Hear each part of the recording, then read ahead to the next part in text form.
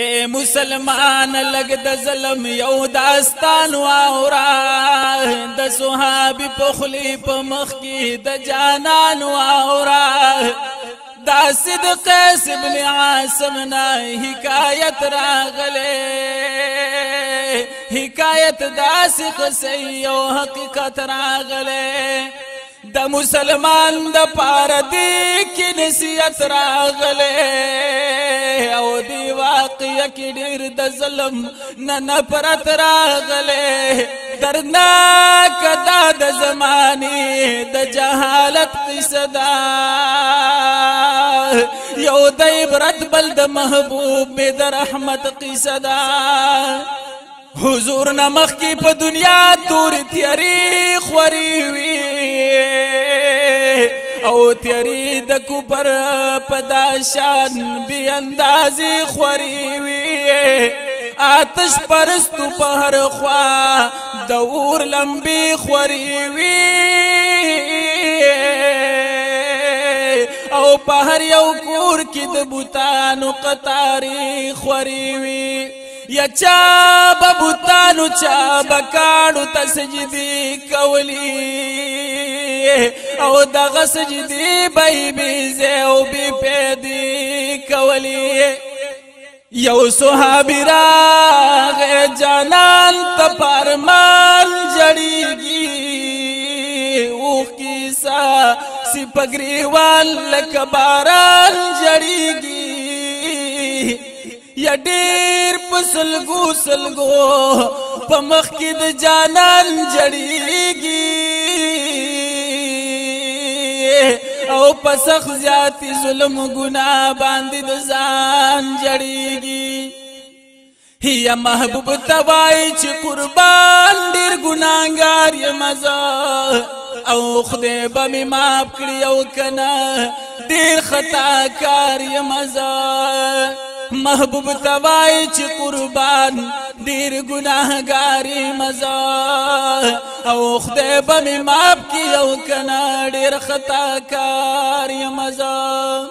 محبوب پرمای ورته تاک ما ګنا کړی دا راتو آیا صحابی تاس خطا کړی دا وای شرمېږم درنه لویه ګنا ما کړی دا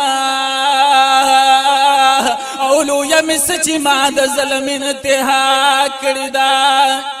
وای شرمې غم درن لوی ګنا ما کړی دا لوی مس چې ما د ظلم انتها کړی دا محبوب پرمای چې الله رحیم رحمان دې ډیر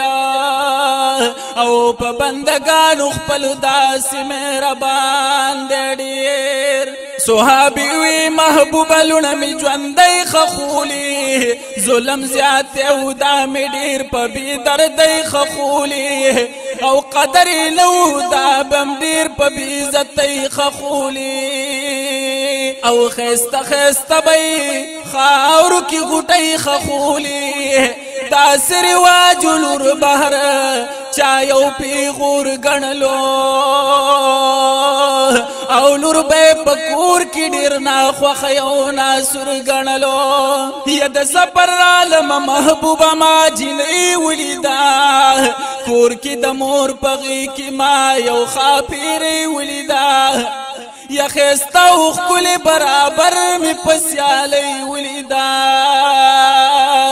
او شغلی تیتی ما ویلی ما جوړ سپوږمۍ ولیدا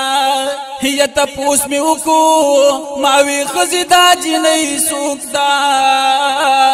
او دومره خسته ماشوم دا د ګل غټي سوک دا خزمي وی خاوند دا د کور مال تراغلي یا دا مخ کې نو دلته دا پدې سات راغلي شک می پیدا شوما وی دلته پکم یت راغلي او داس د پار زمون کور تپسر اتراغلي هي دې چې زولې دم د مور خوان روان شولا اولان دې پکور کې تا خان کې بندیوان شولا هي د الله دوست حق قائم او سلام کړلا د دې جنې د پار جوړ منسوبه مکړلا یا د مور د خوان روان په بانه میکړلا او لري د کلی نه می بوت لدلا سمیکړلا یا د مور د خوان را روان په بانه میکړلا او لري د کلی نه می بوت لدلا سمیکړلا پټول لار د مين مين اشاره کیدا او وړي وړي خسته خبرې د مزي کیدا دیرا تویل بابا جانت ما چرت بوزی یرا تخکاری گی تما دوست کر اختر لبوزی او تجوڑی سیل د پارما چرت چکر لبوزی یا بابا جی ستړي شمړي رقم بیر تبوزي د دې خبرو په ما باندې سسر نکو او د خولو دې په ما باندې باور نکو د الله دوستانو پکند می شروع کړلا ځانته می کینول شروع می پرورو کړلا او کنده می ډیره په سختۍ او په خوارو کړله او جوړ کند می خطیر تر مرو کړلا دی ویل سکه ما ویل تال رزکور جوړوم دی ویل ستړې شوي ما وې لخير د نور جوړوم دی ویل سکه ما ویل تال رزکور جوړوم او دی ویل استړې شو ما ویل لګنور جوړو ما را پاسې دل زما خاورې د جامو نه سندې په مینا مینا باندې ورورو د وګو نه سندې یا پلو پټ باندې د سر کله د خپونه سندې او په وړو لاسوي د سترګو او بڼو نه سندې هي د دومره مینې باوجود زړه مې پولادو کنا او ډیر شرمنده يم نه پوهېدم چې مې اولادو کنا کنده پورا چې شوه دا پوه شوه ویلې مور لزما او بابا چې زه دلته یریږم خپل کور لزما او د مور جان غیږم یادې ګیباخ سمسور لزما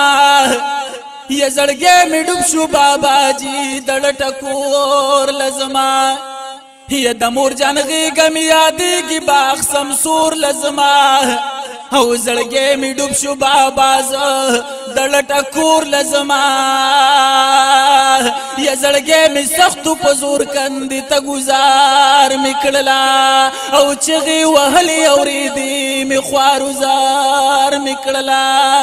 محبوبا اوس می داغي چغي سوري جړای یو وړي وړي سلګي ما د ورځ شپې جړای مایې د زار یو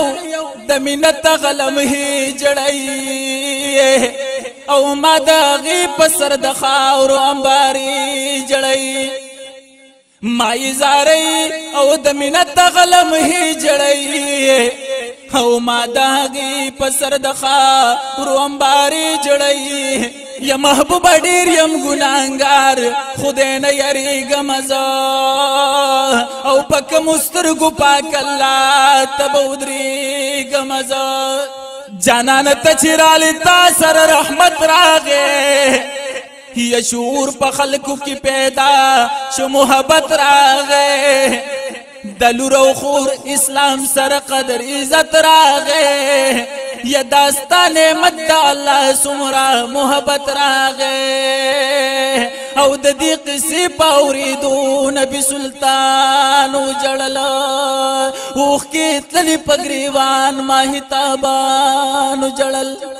محبوب فرمای صحابه تا ډیر قصور کړي دے خدای بدی معاف کی لیکن ظلم او دی ضرور کړي دے یا ناتر سظلم دی بیا داسې په خپل لور کړی دی نازک بدن دی د ماشومې چې چور چور کړی دی ناتر سظلم دی بیا داسې په خپل لور کړی دی او نازک بدن دی د ماشومې چې چور چور کړی دی یا صحاب استا پلی دو ما تستا بچی یادیگی او مخل را نشد آغی را تسلگی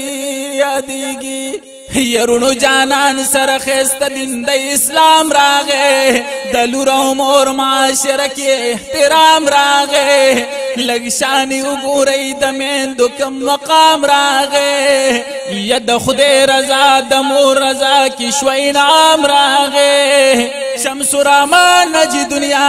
کی رنگی نئی راغلی او محبوب چراغ کائنات کی خوشحالی راغلی او محبوب چراغ کائنات کی خوشحالی